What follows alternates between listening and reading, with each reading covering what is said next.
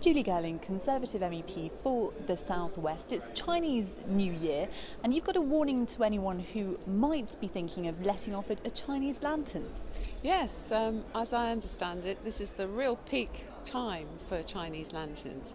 And We've been doing some work here in the Parliament, and I've been talking to the Commission about the impact of Chinese lanterns. Because although we all love setting them off and it's great fun seeing them going off in the sky, there are reported incidents of, firstly, on at coastal spots where the RNLI are getting called out because people think a flare's gone up. We've also got some really nasty reports of damage to animals, to, to farm animals, not just from the fire, which can be difficult, but also from when they ingest the metal that's part of, of the Chinese lantern structure. So we've had dead cows with punctured stomachs. It's really all very unpleasant. And of course, there's the obvious risk of, of uh, fire.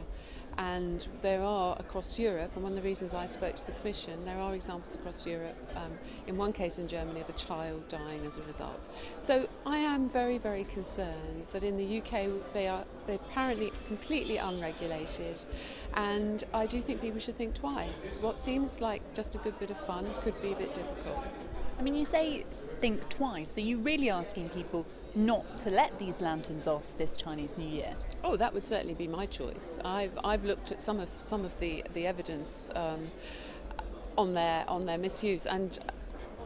Yes, I would never set one off. That that would be my choice. But I, you know, I don't want to stop people doing things. The last thing I want to be is the, the, the woman who, you know, the fun, the fun killer, the woman who, who stopped people having fun. Not at all.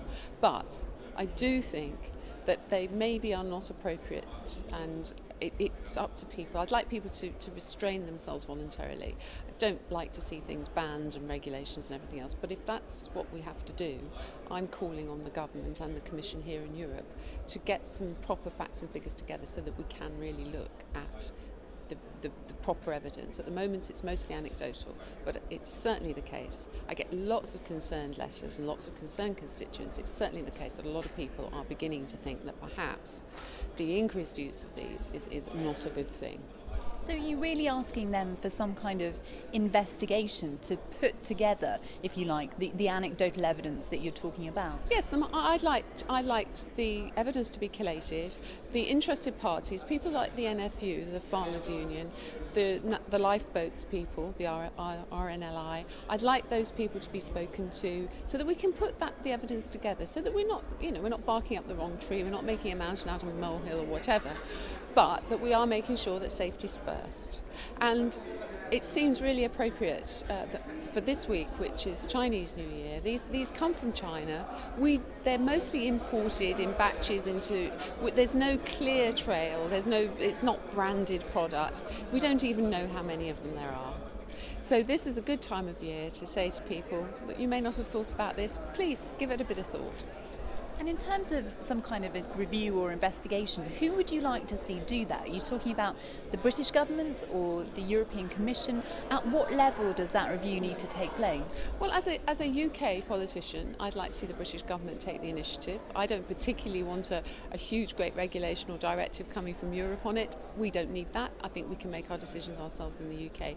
With my MEP hat on, though, it's an, if it's an issue in the UK, it is across Europe, and I would like the Commission to use some of the resources they have. After all, we all pay an awful lot for the bureaucrats at the Commission. Let's ask them to do some of this work and produce some of this evidence.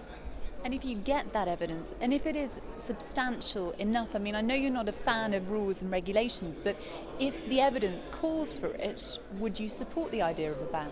I would, yes. If, if, if, if the evidence supports it and there can be a sensible, clear way forward, then I would support the restriction of the use, yes. And what about um, the response that you've got so far from the European Commission?